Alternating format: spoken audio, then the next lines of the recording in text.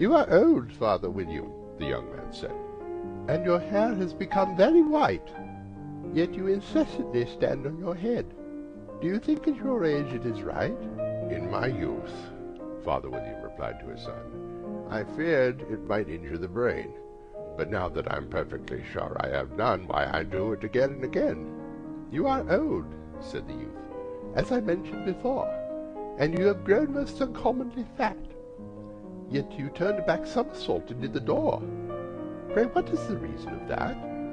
In my youth, said the sage as he shook his grey locks, I kept all my limbs very supple. By the use of this ointment, one shilling a box, allow me to sell you a couple. You are old, said the youth, and your jaws are too weak for anything tougher than suet. Yet you finished the goose, with the bones in the beak. Pray, how did you manage to do it?